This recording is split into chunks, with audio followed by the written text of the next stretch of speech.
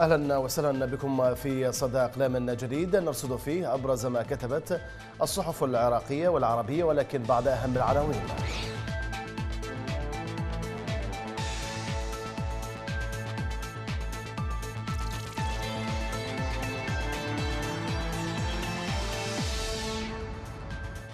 أهلا وسهلا بكم في صدى أقلام جديد نرصد فيه أبرز ما كتبت الصحف العراقية والعربية ولكن بعد أهم العناوين. الجزيرة نت كورونا وفاة أول أمريكيين واكتشاف حالات باليابان وارتفاع حصيلة الضحايا بالصين. نيوزويك الاعتقال السري لأكثر من مليون مسلم صيني سيضاعف من مشكلة كورونا. الزمان العراقية حقوق الإنسان تطالب بإعادة بقية الطلبة العراقيين من الصين. القدس العربي سوريا هدوء في إدلب وتعزيزات عسكرية تركية ضخمة. العرب اللندنية دعوة قضائية ضد إيران لقيامها بعمل إرهابي بإسقاط الطائرة الأوكرانية. العربي الجديد أنقرة تنشئ نقاط مراقبة جديدة لعرقلة تقدم النظام نحو إدلب. الشرق الأوسط حصيلة وفيات كورونا في الصين ترتفع إلى 717 والإصابات تتجاوز 34 ألفاً.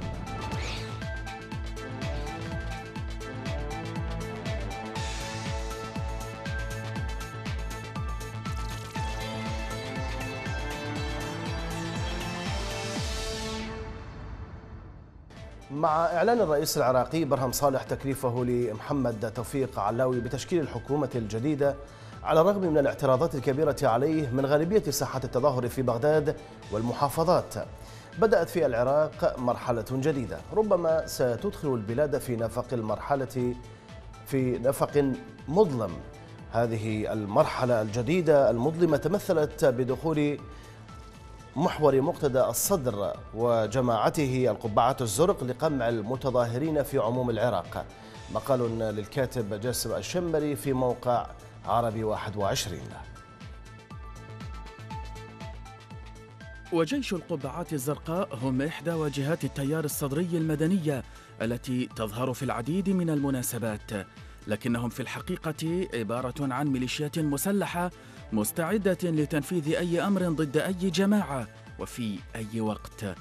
المؤامرة على المتظاهرين السلميين بدأت بعد تغريدة الصدر التي بارك فيها لرئيس الحكومة المكلف وأشار فيها إلى ضرورة أن يسعى أتباعه بالتنسيق مع القوات الأمنية إلى إعادة الحياة لطبيعتها وفتح الطرقات والمدارس. ظهور القبعات الزرقاء كقوة إرهابية جديدة ستتحكم في الملفات السياسية والأمنية والشعبية. وبالنتيجة ستقود البلاد إلى مرحلة الضياع التي حذرنا منها مرارا. الصدر وجماعته أثبتوا أنهم غير متفقين مع المتظاهرين بل وأنهم منسقون مع الكتل السياسية لضرب وإجهاض طروحات وآمال الجماهير العراقية التي فقدت حتى اليوم أكثر من 750 شهيدا وأكثر من 30 ألف جريح. المتظاهرون العراقيون رقم صعب في الواقع الجديد لا تعزله رغبة سياسية غير وطنية ولا إرادة خارجية حاقدة. ورسالتهم ستقود العراق إلى الحالة الأفضل والأجمل وستملأ حياة العراقيين بالعدل والسلام والديمقراطية.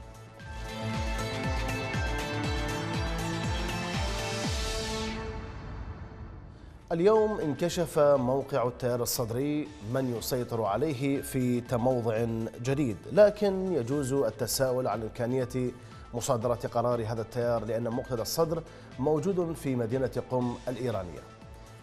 ويصعب لأن مقتدى الصدر موجود في مدينة قم في إيران ويصعب تفسير انتقاله من معسكر إلى آخر إلا إذا كان مقتل سليماني حدا بإيران للعب بورقة مقتدى بقوة والقبول بدوره لحسم الموقف لصالحها أو التخفيف من الخسائر.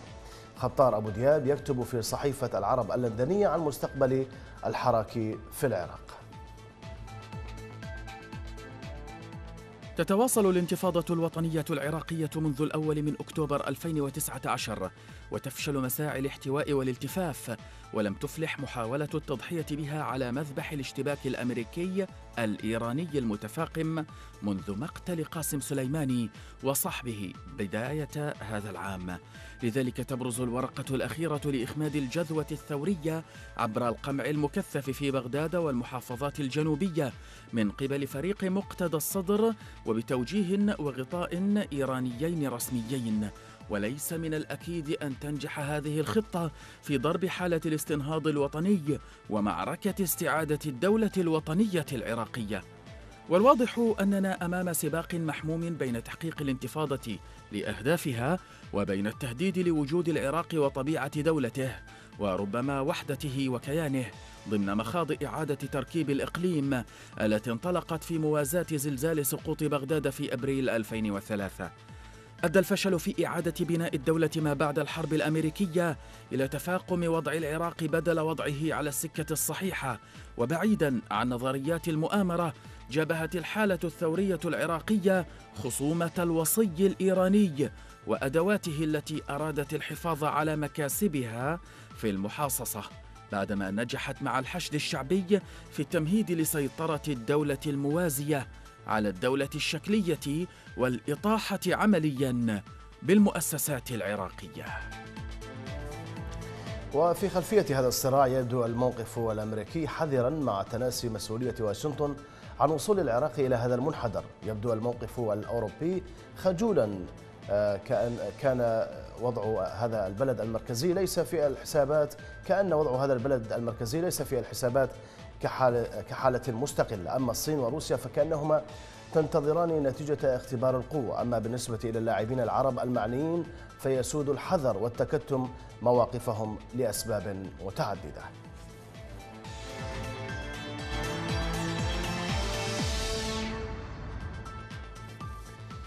شهدت ساحات وميادين العاصمة العراقية بغداد ومدن وجنوب ووسط البلاد يوم أمس الجمعة تظاهرات واسعة وسط انتشار أمني كثيف تحسبا من هجمات أصحاب القبعات الزرق التابعين لرجل الدين وزعيم التيار الصدري مقتدى الصدر. عقب سلسلة هجمات نسبت لهم في النجف وكربلاء أسفرت عن مقتل وإصابة متظاهرين تقرير لصحيفة العرب الجديد. فلنتابع التظاهرات التي تحمل عادة شعارات ضد إيران وواشنطن لتدخلهما في العراق رفعت اليوم أيضا شعارات ضد تكليف محمد علاوي بتشكيل الحكومة الجديدة وضد عدد من الشخصيات الحزبية أبرزها مقتدى الصدر. رغم تحذيرات أطلقها أنصاره مسبقا من مهاجمة أي تظاهرة تهاجم زعيمهم أو تردد شعارات وشهدت ساحات التحرير في بغداد احتجاجات واسعة إذ لم تستوعب أعداد المتظاهرين الذين امتدت أعدادهم إلى ساحة الطيران والشوارع القريبة منها. وحمل المتظاهرون شعارات جددوا إدانتهم أحداث النجف. مطالبين بالتحقيق في تلك الأحداث ومحاسبة الجهات التي ارتكبت المجزرة في ساحة التظاهر. كما شهدت ساحات التظاهر في المحافظات الجنوبية تظاهرات حاشدة إذ خرج المئات من أهالي محافظة ذي قار بتظاهرات ومسيرات في الشوارع المؤدية إلى ساحة الحبوب وسط مدينة الناصرية مركز المدينة واحتشدوا داخل الساحة مشددين على استمرار تظاهراتهم. وفي محافظة واسط عبر المئات من المتظاهرين والطلاب الجامعيين الذين خرجوا بمسيرات احتجاجية عن رفضهم تكليف محمد علاوي برئاسة الحكومة مؤكدين أن مطالب الشعب ستنتصر على أجندات الأحزاب وميليشياتها. المخاوف من اتساع دائرة التظاهرات دفعت فصائل ميليشياوية إلى الدعوة لتحديد أماكن معينة للتظاهر وهو ما رفضه المتظاهرون بحسب الصحيفة.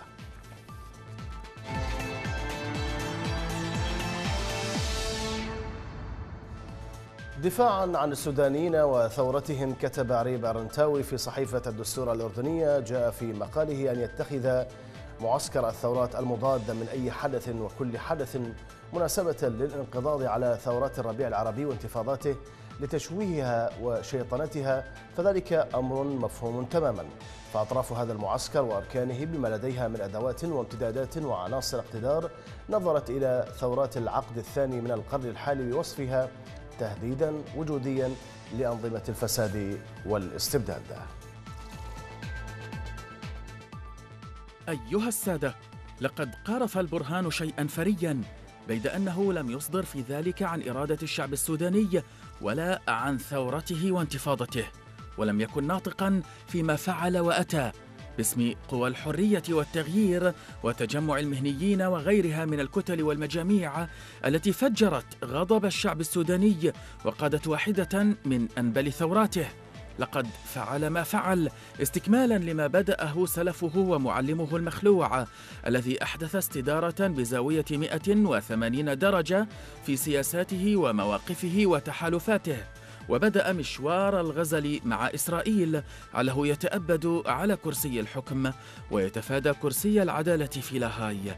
لقد فعل البرهان وجنرالات الجانجويد ما فعلوا. ليس لمصلحة سودانية عليا ولا لحفظ أمن السودان الشقيق كما زعموا مبررين وشارحين. لقد فعلوا ذلك للحصول على الضوء الأخضر للقضاء على مرام الثورة السودانية قبل انتهاء مشوار الانتقال بالسودان من الحكم الشمولي الديني إلى ضفاف الديمقراطية التعددية. لقد فعلوا ما فعلوا. ليس بتفويض من شعبهم.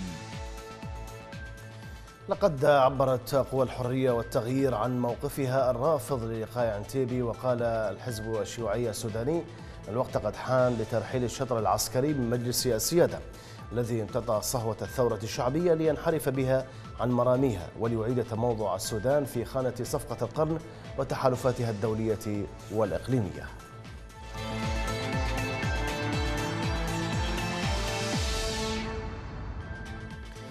في مقال نشره موقع فورن بوليسي وكتبه إسرائيل بيرمانت المحاضر المتخصص بالشؤون الدولية في الجامعة العبرية. أشار فيه إلى موافقة رئيس الوزراء البريطاني بوريس جونسون استعداده للمصادقة على صفقة القرن التي أعلن عنها الرئيس الأمريكي الأسبوع الماضي وذلك في محاولة منه للتقرب من الرئيس الأمريكي على سياساته في الشرق الأوسط وفي رغبة منه للحصول على معاهدة للتجارة مع واشنطن.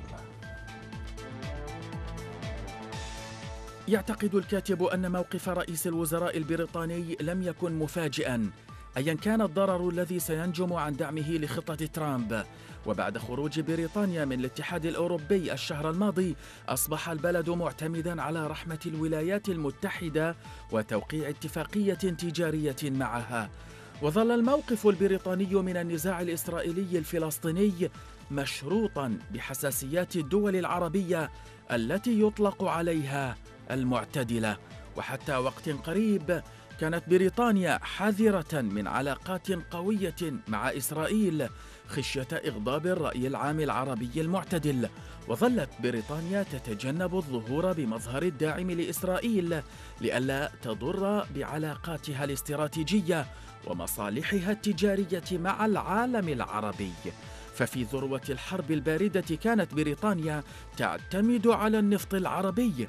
وبعد رفض الرئيس رونالد ريغان شجب الغزو الإسرائيلي للبنان عام 1982 كتبت مارغريت ثاتشر في حينه على برقية من واشنطن لا تعرف أمريكا مدى الحنق الذي تتسبب به في الشرق الأوسط. وخافت ثاتشر من بناء الاتحاد السوفيتي وغيره قوة تأثير بسبب دعم أمريكا لإسرائيل وأفعالها إلا أن الكثير قد تغير منذ ذلك الوقت.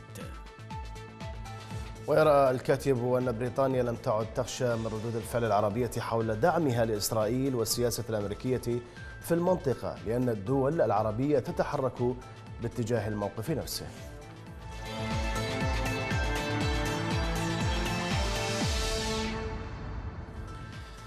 في تعليق لصحيفة الجارديان على تبرئة الرئيس الأمريكي دونالد ترامب في الكونغرس من تهم إساءة استخدام السلطة وإعاقة عمل الكونغرس. قالت إن قرار مجلس الشيوخ الذي يسيطر عليه الجمهوريون يعني أن مصير الرئيس لم يعد بيد الكونغرس بل بيد الديمقراطيين والناخب الأمريكي في انتخابات تشرين الثاني نوفمبر القادم. وكان الديمقراطيون يعرفون عندما قرروا البدء بالمحاكمة أن دونالد ترامب لن يدان على يد الجمهوريين الذين يسيطرون على مجلس الشيوخ وأنه سيدعي خطأ كما فعل أن المحاكمة برأته بالكامل. وربما شعر أنه أصبح بقوة لا يمكن لأحد تدميرها كما فعل في خطابه المليء بالأكاذيب الذي ألقاه يوم الثلاثاء عن حالة الاتحاد. وترى الصحيفة أن معضلة الديمقراطيين جاءت من أن تجاهل محاكمة ترامب على ما قام به. كان سيضر بالدستور الأمريكي وأن رئيسا يعرف أنه لن يواجه محاكمة سيتجرأ مثل الرئيس الذي واجهها. وتعتقد الصحيفة أن التصويت في الكونغرس لتبرئة ترامب لم يكفي الحقيقة تبرئة أو تأكيدا لبراءته. أكثر من كونها محاكمة هزلية قام بها مجلس الشيوخ حيث رفض المحلفون الذين أقسموا على الحياد الاستماع حتى للشهود. وكانت العملية في حد ذاتها إدانة للحزب الجمهوري وباستثناء الموقف المشرف لسيناتور يوتا ميت رومني الذي بات يواجه عمليات انتقامية من أعضاء المجلس من الجمهوريين الرعاديد لسلطة الرئيس. وتختم الصحيفة البريطانية أنه لا شك في خسارة ترامب مرة أخرى. الأصوات الشعبية هذه المرة ولكن النظام الانتخابي الأمريكي منحرف بشكل مروع كما وصفته ولن تهزم الرئيس الحالي سوى معارضة قوية. وفي الوقت الذي فشل فيه الحزب الجمهوري في الامتحان وفشل الديمقراطيون أمام أنفسهم فالخيار الآن بيد الناخبين.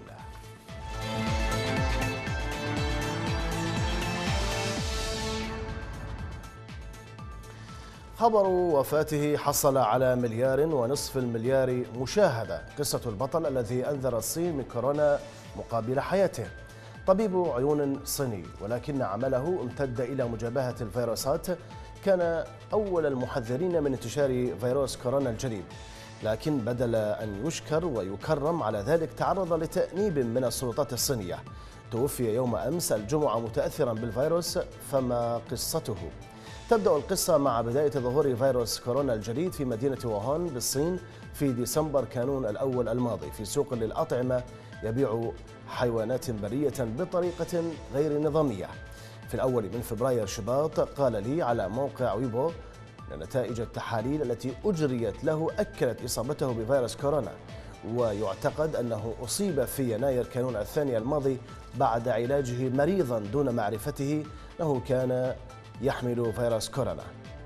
وفي منتصف آه، الجمعة توفي لي وكان بحالة حرجة ليصبح بطلا لدى الصينيين.